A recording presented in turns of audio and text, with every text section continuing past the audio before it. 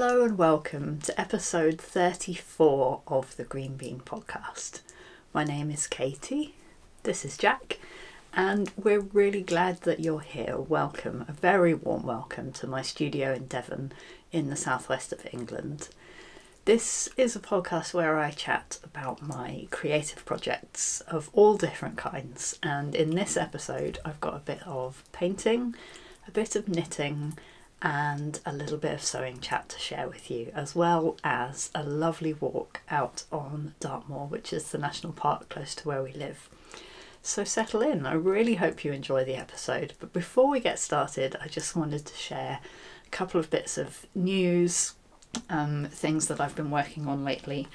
I've been taking a quiet couple of weeks um, in terms of podcasting because I've been busy working away behind the scenes, adding a few new products to my shop. I um last year I did a design of newts, um, inspired by the newts that I see in one of my favourite swimming holes up on Dartmoor, um, and I turned that into like a repeating pattern, and it's just sat there on my computer for a while, not doing very much, and I decided to um, to put some time into it and turn it into washi tape and stickers. So I'm really happy to have added those to my shop. I'm really pleased with how they came out. I did three um, different designs of washi tape, so one with newts and a couple with uh, like complementary pondweed designs.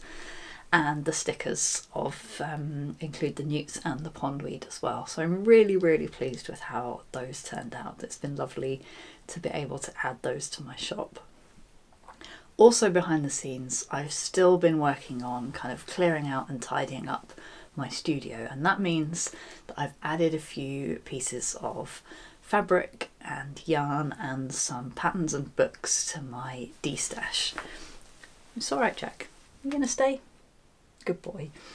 Um, I have a separate shop on Etsy for D-stash items and as always I'll put the link down the bottom in case you want to have a browse at what I've got available both in my illustration shop and in my D-stash shop. Uh, so that's all for uh, information and announcements at the start of this episode. So let's head out onto Dartmoor for a walk and then get stuck into this episode.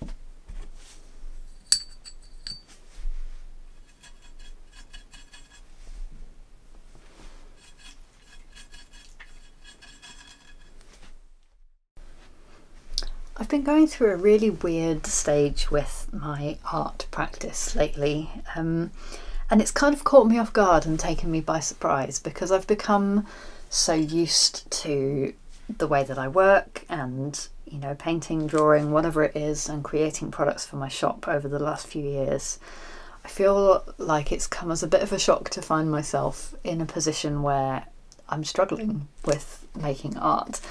Um, and when I say I'm struggling, I mean on lots of different levels. I'm struggling to find the time to do it and I'm struggling with the emotions that come up when I'm doing it about not being good enough and you know being really perfectionist about it and of course then that creates a cycle it's the more I'm afraid of my art not being perfect the more I'm afraid of making the art so the less I do it and the less I do it the um, the more pressure piles up on when I do take the time to do it and I think part of what's going on is that I've been trying to work quite a lot in gouache at the moment. So, this mushroom painting that I shared with you in the last episode and this new painting that I've started are both in gouache.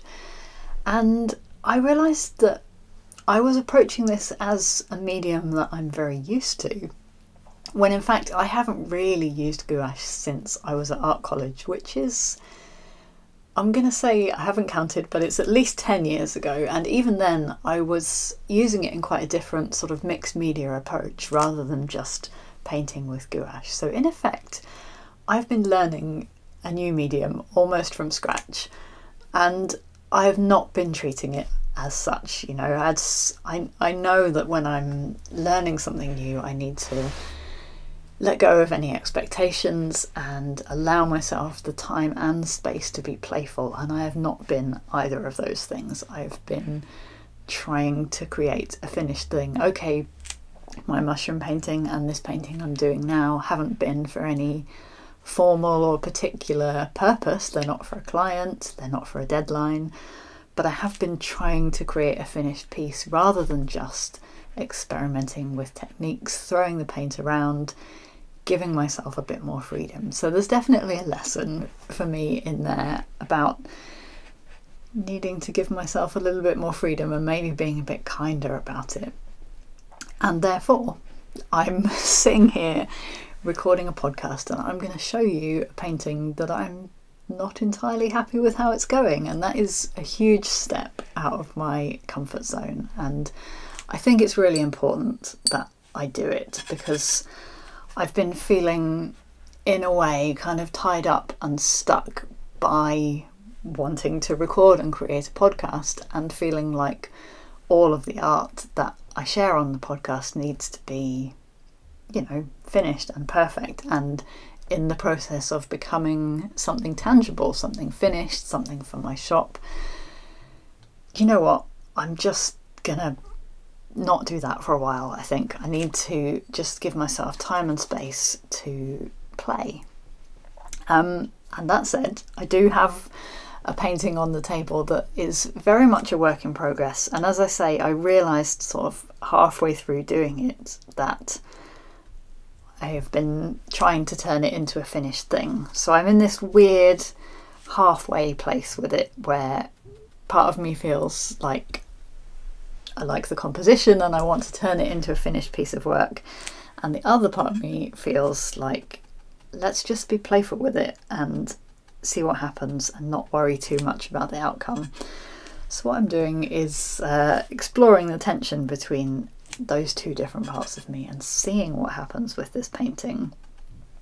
Who knows? I might hate it, I might love it, but um, I'm certainly trying as best as I can to take off the pressure of expecting it to be a perfect and finished thing and focus on enjoying the process and and learning about what these paints do and the different qualities and techniques that I can use with them because that's really what this this time and this project needs to be about.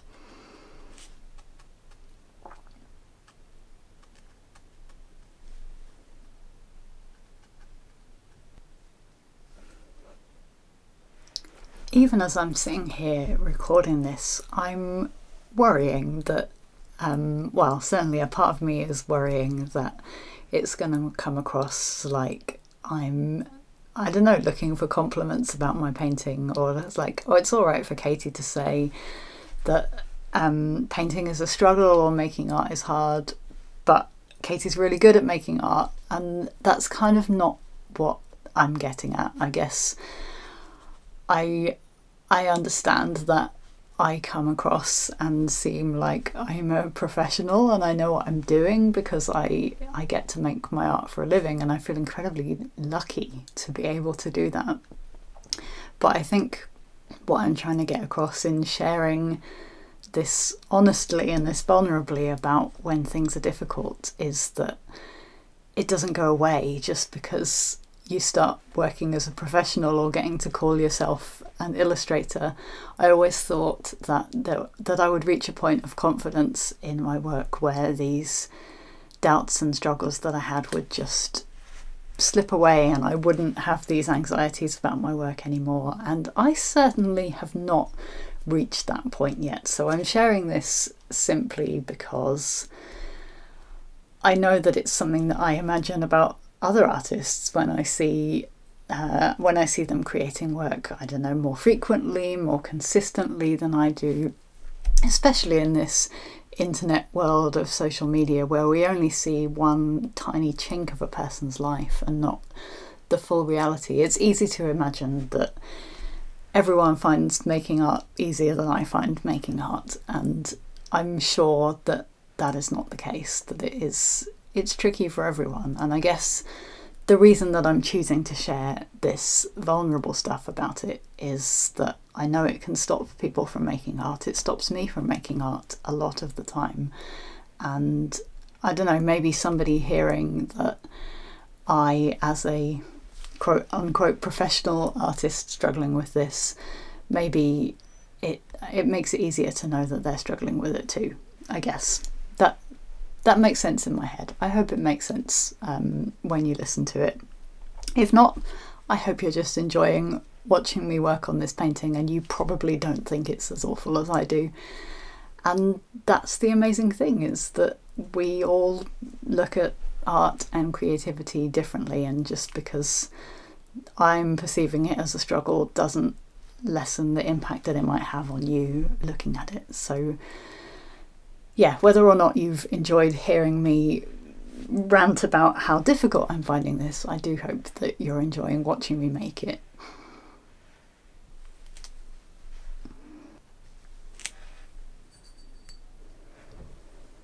So the painting I'm doing is of, well, it's inspired by the buddleia bush that we have in our garden, which has been visited by a fair few butterflies lately. We get um, quite a lot of migrant red admirals around here, but particularly this week I've noticed several peacock butterflies, and I don't know. There's something about the colours in their wings that that picks up the colours of the buddleia. So peacocks are mostly kind of red with big eye markings, but around the eyes there's this tiny little bit of purple, and that really kind of it becomes really vivid and vibrant um, when they sit on the buddleia flowers, which are bright purple. So I really loved that juxtaposition of the colours, so that inspired me to have a little go. And I created this composition in my sketchbook, just like a, a tiny three panel comic, I guess, of watching some peacock butterflies approach the bush and then land and then seeing them just fold out their wings. They're so, so beautiful. So, um, yeah, it's just a, a simple piece, I guess, that I've been playing with, trying to trying to ease up on myself in the process and let the painting unfold and not worry too much about how it's going to look.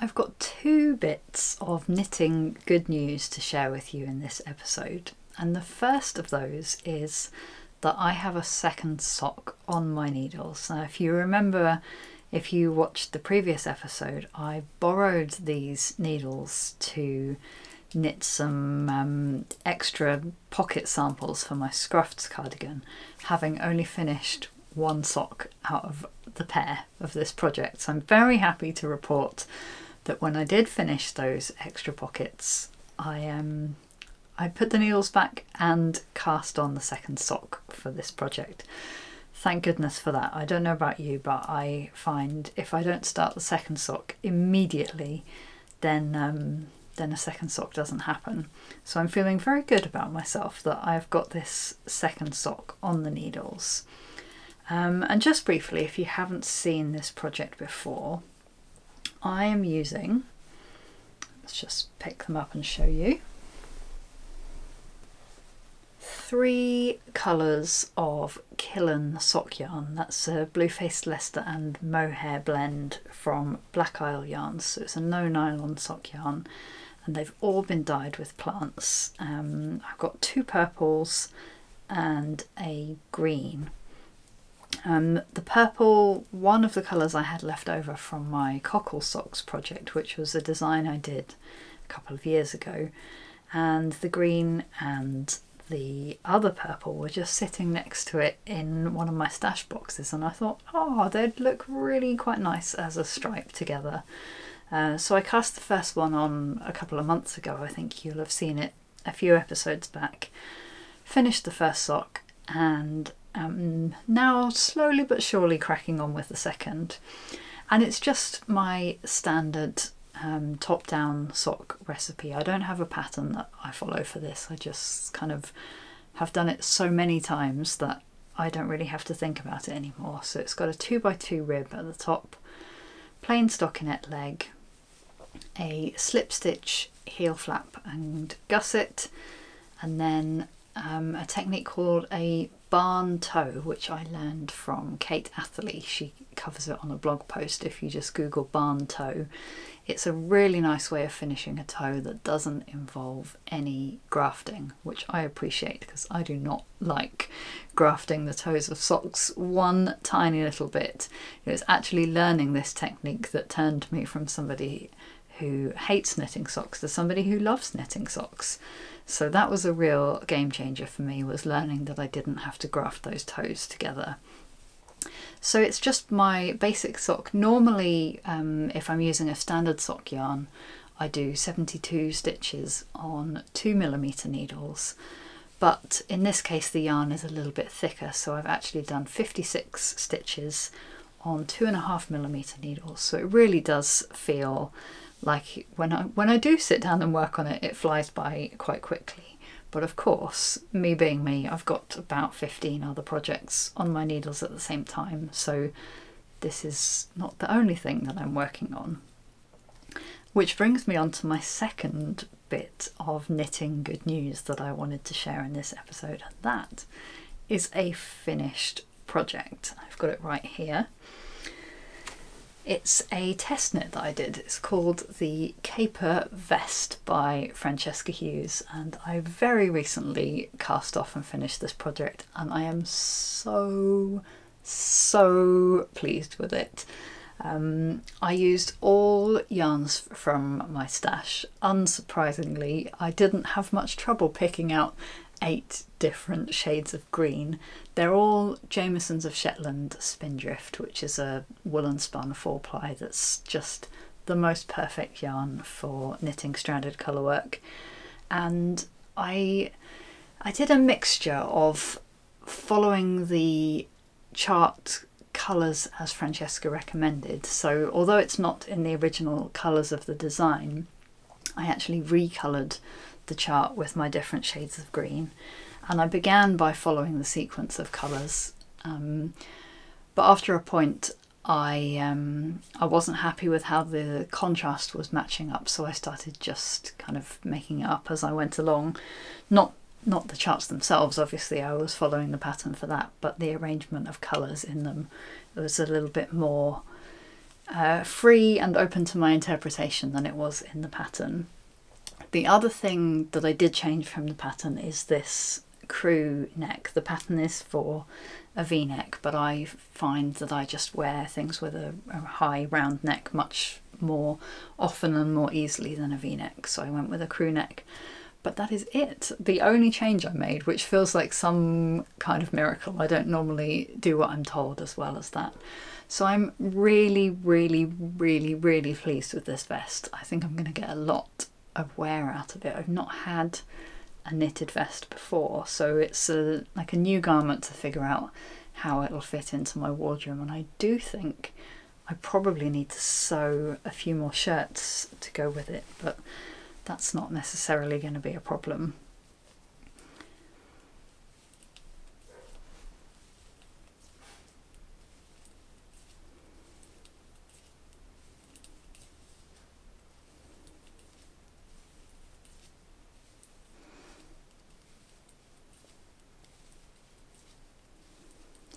just realised as I'm knitting these that there's definitely emerging a colour theme in this episode. The um, the green and the purple has quite a lot in common with the painting I was showing you earlier, um, which is entirely by accident. I didn't plan that at all.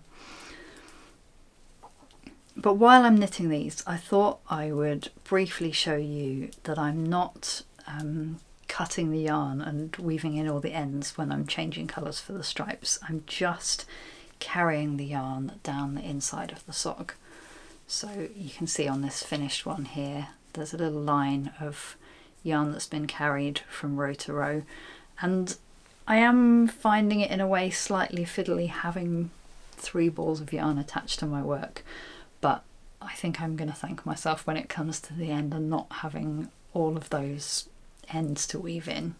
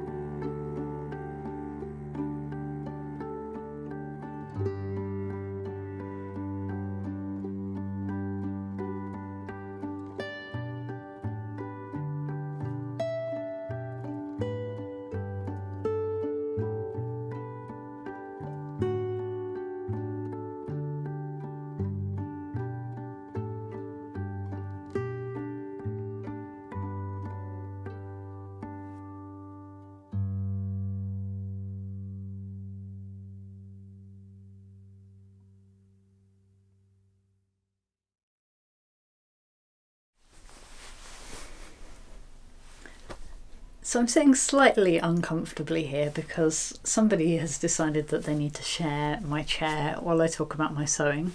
Um, and I'm going to talk about underwear in this sewing section because much like with my artwork, I have kind of lost my sewing mojo, if you like, at the moment. I'm I've been feeling a bit stuck and uninspired, even though I've got several projects on the go as usual. Um, what I do quite often when I feel stuck with my sewing is I revert to the stash of projects that I have pre cut out. So, quite often when I'm cutting out a sewing project, I've got the table nice and clear and I've got all my pattern pieces out, particularly if it's a pattern that I am familiar with and I know and love. I will cut several versions in a batch and then fold those pieces away and keep them for a day like today when I feel like I want to be sewing and I want to finish something quickly and I don't want to go through the whole fitting process of trying something new. I just want to make a thing. And having those pieces prepped and ready means that it is possible for me to sit down and make a thing in a day. And today I've been making underwear. Um, let me grab a finished pair to show you. So I've been making these knickers and this is a pattern based on the Ava panties, which is a high-waisted knicker by Ohhh Lulu Patterns. But it's quite significantly changed from the original, and I thought, seeing as I've made another pair of knickers with bees on, I would pull out the original pair, the very first pair that I made, which also happen to have bees on. They look a bit um, shabby because they've been through the wash a few times, but they are clean. Um, and I just thought I'd talk you through the modifications I've made to the pattern because this version is made exactly as the pattern suggests. And this version is my perfect underwear and I've kind of gone through various drafts and stages to make them to get them just right for me. So the first thing that's changed is I have taken an inch off the waist, so I'm not sure how easily you'll be able to see.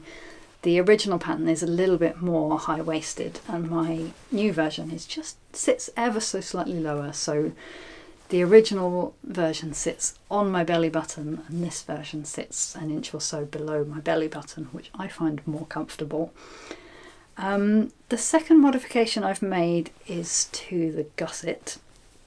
Um, and this is something that I've always found, whether they've been underwear that I've purchased from a shop or underwear that I've made from a pattern, the placement and size of the gusset just makes no sense. And without speculating too much about what's going on in my underwear, I can't imagine that I'm that unusual down there. And so I can't be the only person that finds these gussets ridiculously uncomfortable. Just the placement of the seam or in the case of the Ava panties, there isn't even a seam, there's just this flappy bit of fabric which is like hollow for no reason that I understand. But the placement of this is mega uncomfortable.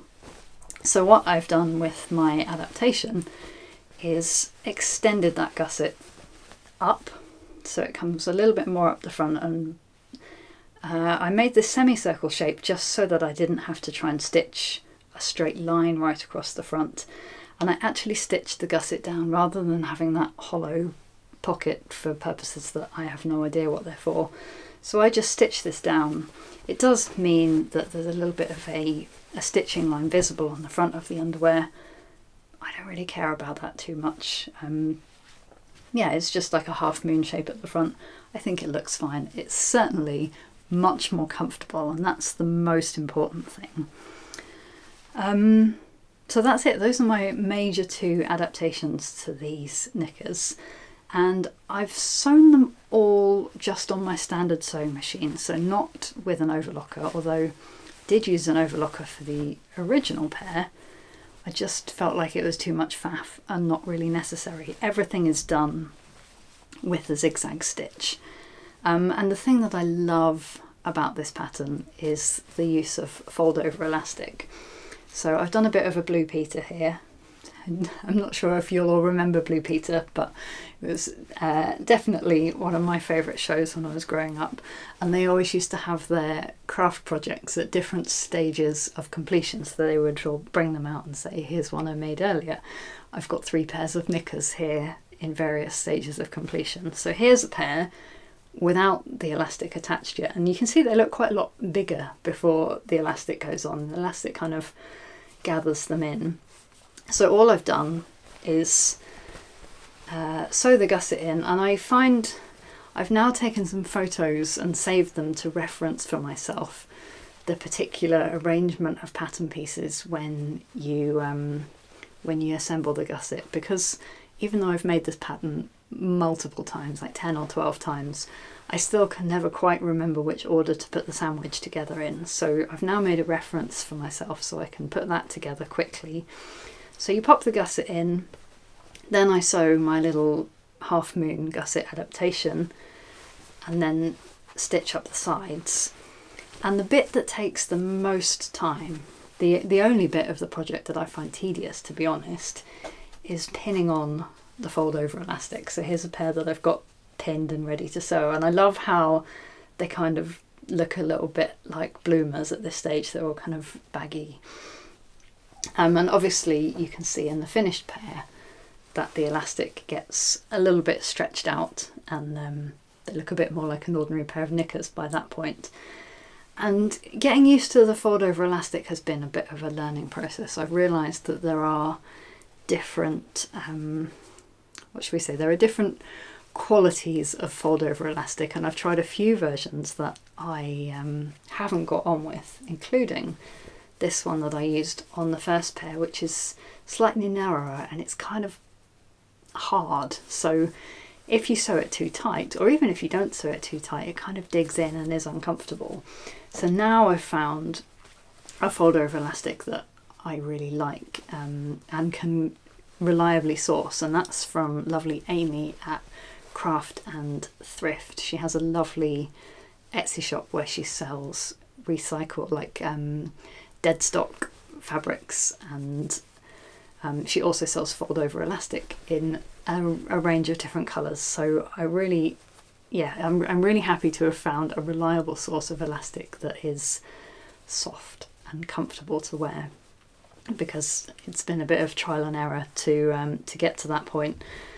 So that's it. I am um, I now have my perfect knicker pattern and I've made well by the time I pin the elastic onto this pair and sew them together I'll have made three pairs in a day and that's three pairs out of one half meter of jersey fabric as well so it works out pretty good value and um, yeah it's a nice productive feeling to pull out some of those pattern pieces that I'd already pre-cut and turn them into a finished thing that I can put into my wardrobe and start using straight away.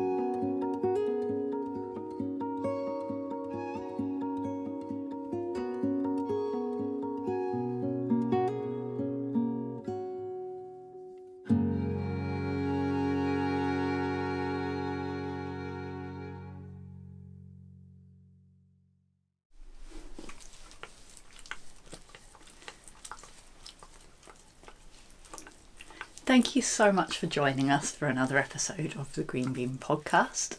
I hope you've enjoyed hearing about what I've been up to and seeing what Jack and I have been up to out on Dartmoor. If you would like to support the podcast and get access to extra episodes as well as all the episodes without advertising, please consider supporting us on Patreon at patreon.com forward slash Katie Greenbean.